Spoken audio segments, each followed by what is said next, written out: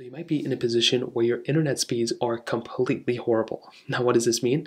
Well, essentially, maybe you're trying to download, you know, some you know applications from your app store. Maybe you're on Snapchat or TikTok, and everything is just super slow, and nothing is working out that well. Well, the reason why this may be happening for a vast majority of you is typically due to the fact that you are either really far away from your Wi Fi router or your specific internet connection on your device. You know, maybe you're in a secluded area and different things like that. So, the very first thing I would recommend doing is making your way over to your internet settings like this and right under Wi Fi. I would highly recommend making sure that you are connected to the 5G version of your Wi Fi. So you can see right here, I'm connected to the 2 gigahertz, whatever Wi-Fi version of this specific device.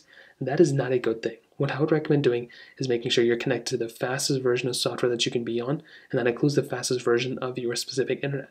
So connect to the faster version of your internet. That could be the first thing you can do. You can also try switching to 5G if you have that carrier type of service. If not, you can always switch over to LTE and see if that ends up improving your speed as well. If you have unlimited, I would just recommend doing that. However, your Wi-Fi connection, as long as you're close to the router, should end up fixing it. But like I said, if you're in a home, could just move closer to wherever your Wi-Fi router is, and that can help increase your speeds as well.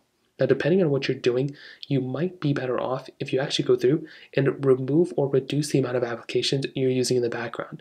So, if you're switching between TikTok and an online game and Snapchat and going onto YouTube and playing a video there, the less things you do on your phone, probably the better in this situation. So what I would recommend doing here as well is reducing the amount of applications that you're using that are requiring internet connection.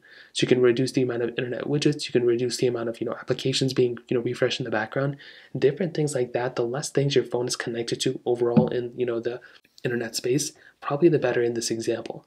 Now, finally, another thing you can try doing if you don't want to move your location or whatever, and if you can verify it's not like a you know carrier service issue, is to basically update your iPhone. So make your way over to your iPhone settings here, scroll down into general, which is right there, go and click on software update right there, and just go ahead and update your specific phone. Again, this may end up working, this may not end up working, but it's another thing you can try doing, and hopefully the situation is fixed by now. So that is pretty much how to do it. If you have any other thoughts or questions, let me know in the comment section below. Hit the like button, that will mean so much, but definitely hit that subscribe button. More importantly than everything else, I love every single one of you guys. Hopefully I'll catch you guys in the next video. Peace out till then.